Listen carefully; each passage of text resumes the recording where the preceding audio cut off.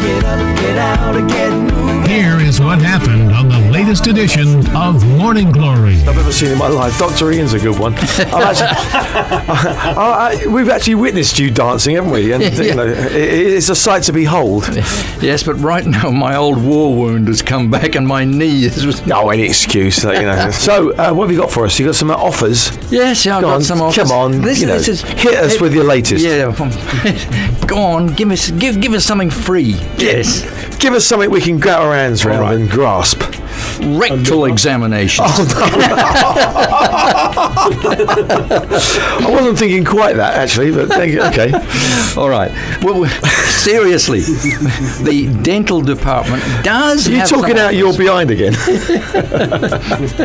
Do you know the name of a dentist in Thai? Uh, a dentist in China. What is it?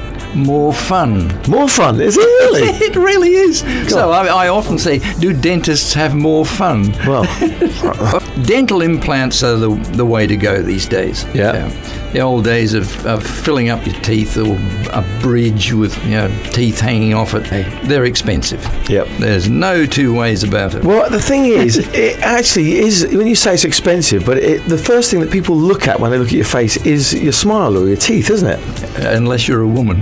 Well, I, I, I still reckon that, that, that it comes across sometimes. You know, that the, the smile is important. Uh, Indeed, it does. Yeah. And uh, it gives you confidence. So, yeah, so therefore, else. especially if it's at the front, those then implants, you know, they might be expensive, but they're very important.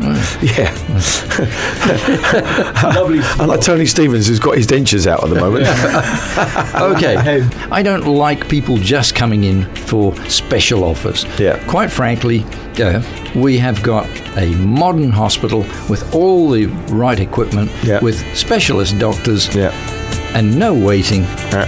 Why would you go anywhere else? Live on 96 FM Morning Glory.